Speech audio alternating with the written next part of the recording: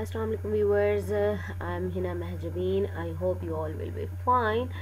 As you know V U के final term paper of fall 2023 हो रहे हैं और लेटेस्ट पेपर्स कलेक्ट करके मैं अपने चैनल पर अपलोड कर रही हूँ ताकि स्टूडेंट को आइडिया प्रोवाइड किया जाए और हेल्प प्रोवाइड की जाए कि किस टाइप के क्वेश्चंस एग्ज़ाम में आ सकते हैं। ये आज जो पेपर है वो C S four zero three practical यानी लैब का पेपर भी है और इसमें C S four zero three का पेपर भी है। यानी मैंने कलेक्टिव आज रख दिया है।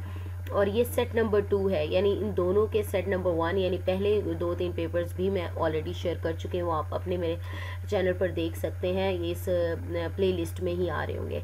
तो लेट्स सी इन पेपर्स को देखते हैं एम सी कॉन्सेप्चुअल थे बट बहुत ईजी थे टू टेबल्स गिवन थे, उनमें इंटरसेक्शन फाइंड करना था, और cumulative property of intersection equal है या नहीं बताना था। एक क्वेश्चन में स्टेटमेंट दी हुई थी क्यूरी लिखनी थी व्यू के बारे में, एक क्वेश्चन में ट्रांसिटिव डिपेंडेंसी रिमूव करनी थी, एक टेब टेबल गिवन था उसमें इनर ज्वाइन पर क्यूरी लिखनी थी? सात आउटपुट भी बताने थे। और एक process external entity data store data flow और कनेक्टर के सिंबल्स बताने थे और ओवरऑल पेपर इजी था।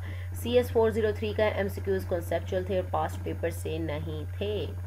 नहीं आए थे ओके एक पेपर एक पेपर गिवन था आ, साथ क्यूरी दी हुई थी उसकी आउटपुट लिखनी थी एक स्टेटमेंट दी हुई थी बताना था करेक्ट है या इनकरेक्ट है।